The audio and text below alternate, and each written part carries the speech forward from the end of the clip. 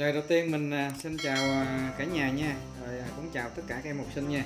Thì trong video hôm nay thì mình sẽ tiếp tục làm video về chủ đề 2 Mùa thu em. Bài phong cảnh mùa thu nha các em.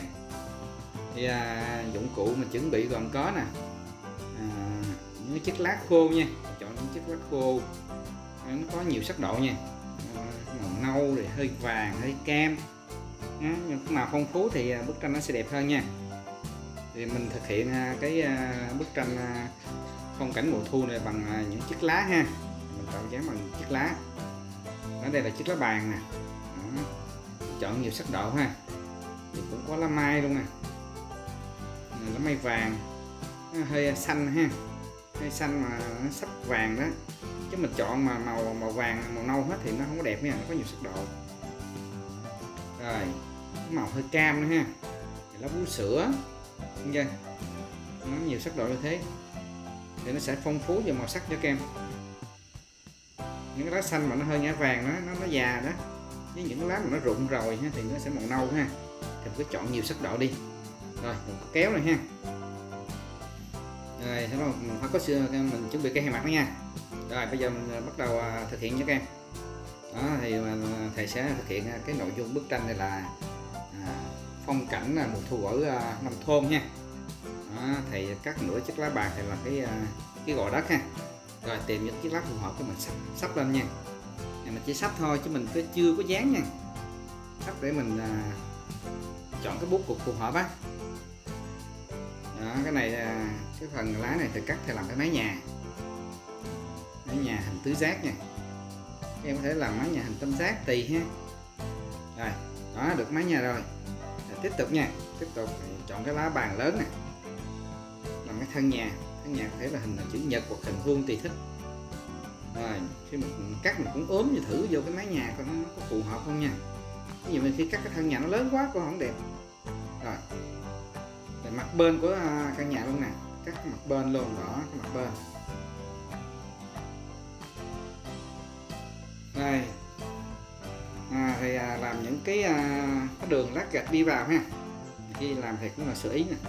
Những cái đường lát gạch thì xa các em làm nhỏ thôi giờ nó làm to lên chút xíu nha nó hơi bằng nhau nó cũng cũng không, không sinh động lắm nha có nhiều sắc độ các em chọn sao mà cho nó màu nổi bật với các em.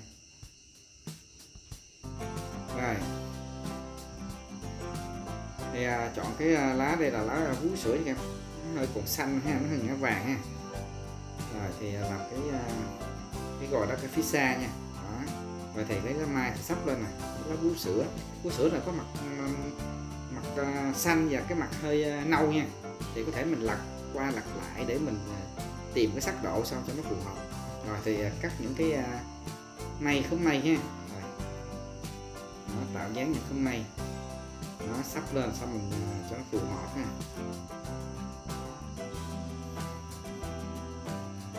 Khi mình à, sắp xếp một phù hợp rồi thì khi mình dán mình có thể mình sáng tạo thêm chứ không phải mình sắp vị trí nào là mình, khi mình thực hiện dán là mình à, dán y nhiên chỗ đó nha. Hoặc những chiếc lá mình không có quyền thay đổi nha, có thể mình thấy chiếc lá nào đẹp thì mình thay thế hơn nha, mình thay thế vào cho nó đẹp hơn. Rồi để tạo à, được cái cái nền đẹp thì mình không nên để trắng nha thì sẽ chọn màu cam thì quét cái nền, vàng quét bầu trời nha, để tạo cái sắc thu nha. Đó, bây giờ thì sắp lên sắp lên đầu cái à, lấy băng keo hay mặt mỏng cái dán phía trong rồi. Đó, những cái à, gò đất này có xa, có gần rồi các em à, dán sao cho nó đẹp ha. Gò đất xa thì mình chọn màu nhạt để cho nó có không gian nó đi vào trong á. Những gò đất gần thì các em mình sử dụng màu nâu đậm. Lá nó có màu nâu đậm á. Những chiếc lá nào mà nó bị khuất cái trong á, che, bị che thì mình dán trước nha. Rồi cái cái phần nào mà cái hình nó nằm phía ngoài á chậm lên thì mình dán sau cùng nha. Đó như thế thì nó nó à, dễ dán nha. Rồi căn nhà tiếp tục mình dán căn nhà là các em. Nếu mình dán vào chiếc lá khó thì mình mình à, khi mình định hình rồi mình dán thẳng cái băng keo hai mặt xuống cái nền giấy luôn. Rồi mình gỡ cùng lấy ngón tay á, mình à, móng mình cạo mình gỡ. Đó. Rồi canh canh cái thân nhà cho nó phù hợp rồi mình dán vào. Nếu có lỡ sai thì mình dỡ lên thì mình dán lại nha rồi bây giờ mình dán mặt bên của căn nhà này. đó, khi mình dán mặt bên căn nhà thì cái cái phần mà cái cái ờ, cái mô đất đằng xa các em sẽ dán trước nha. Tại vì cái nhà nằm phía trước nó che cái mô đất một phần. Thì cái ờ, phần ờ, cái hình nào che thì mình dán sau cùng ha. Đó dán sau cùng thì nó sẽ dễ hơn. Con keo này thì nó, nó khó gỡ lắm có móng tay mà gỡ dễ lắm rồi à, phía xa thì thầy cũng tạo dáng này ha. Nãy mình ốm thử à, những cái hình à, phù hợp rồi đó. Bây giờ mình sẽ thực hiện mình dán lên. Mình có thể mình thay đổi khác với cái dự định ban đầu cũng được nha. Thì khi mình, mình khi mình thực hiện thì mình có thể mình có những cái cái sáng tạo hơn. Có thể mình thay đổi màu sắc của chiếc lá hoặc cái hình dáng của các cây. Đó. bây giờ thì à, dán những cái à, lá cây nó có nhiều màu sắc này đó các em thấy là nó thay đổi màu sắc nó hòa sắc với nhau. À, có đậm có nhạt thì chúng ta thích thích được em. Đó. cái cây gần nó che cây phía xa nè ha. Đó. Những cái cây phía xa thì mình có thể mình chọn màu nhạt ha để cho nó có không gian nha các em. Những cây gần thì mình cứ chọn màu đậm. Quan trọng là khi mà các em chọn lá cây á, thì chúng ta phải chọn nó có nhiều cái sắc độ để à, bức tranh mình nó thêm sinh động hơn. Nếu cái lá cây nào mà chúng ta thấy không hợp thì chúng ta có thể chúng ta dùng à, kéo chúng ta cắt ha, cắt cái hình dáng một cái tán cây cho nó phù hợp theo sở thích của mình. Đó. Đó, những số lá cây là thầy đều có một số lá cây thầy cắt tạo dáng đó nha chứ không phải là để y chang cái lá cây ban đầu mình dán.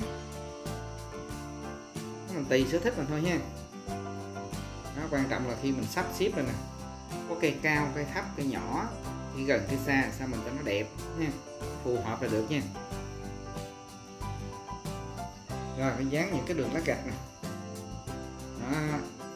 thì cũng sơ ý những cái đường lá gạch gần thì làm to hơn chút xíu thì nó đẹp. Đẹp hơn nữa ha. Khi mình làm xong rồi lỡ rồi, thầy để dán luôn mà cái này cũng không có gì quan trọng các em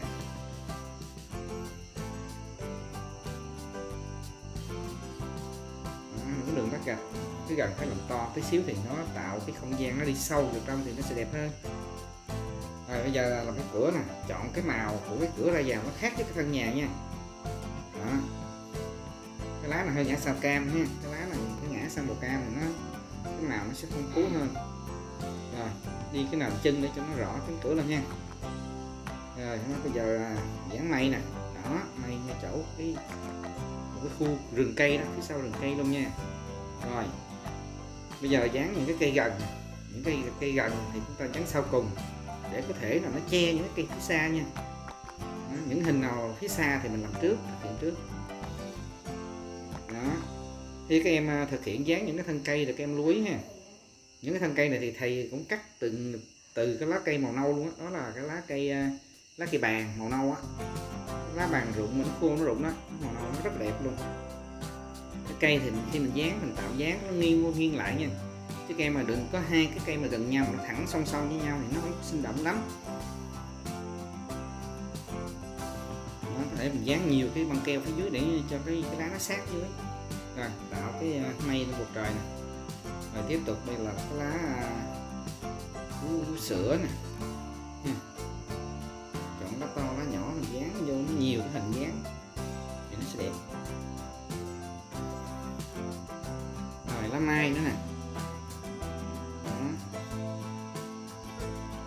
Trong một khu vườn thì có cây thấp, cây cao, cây nhỏ, cây lớn nha. Có nhiều hình dáng khác nhau các em lưu ý nha thầy chọn cái à, cái lá vú sữa thì là ấp xuống để lấy cái sắc độ nâu á. À, để cho nó nổi lên. Rồi, nếu mà sắp xếp mình thấy hình nó không phù hợp thì có thể mình dời chiếc lá qua sang vị trí khác. Chứ không phải bắt buộc là các em tạo dáng y như lúc ban đầu mà mình à, mình sắp thử lên cái tờ giấy nha. Có thể là mình thay đổi đi, sao cho nó đẹp ha.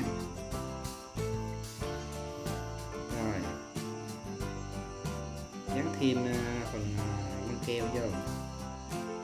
Băng keo hay mặt nó dính lên cái này dính mà nó mỏng là cũng khó gỡ lắm. Rồi bây giờ thầy tạo cái ô cửa sổ nè chọn cái có, có sắc nhạt hơn. Nó là màu xanh. Đó, để cho nó nổi. Nó nổi khỏi nổi bật ha. Rồi nhấn vào.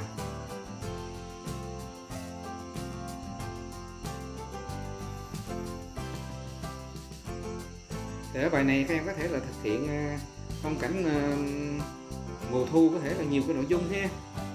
Phong cảnh rừng núi phong cảnh thôn quê phong cảnh cánh đồng dòng sắc thu nha.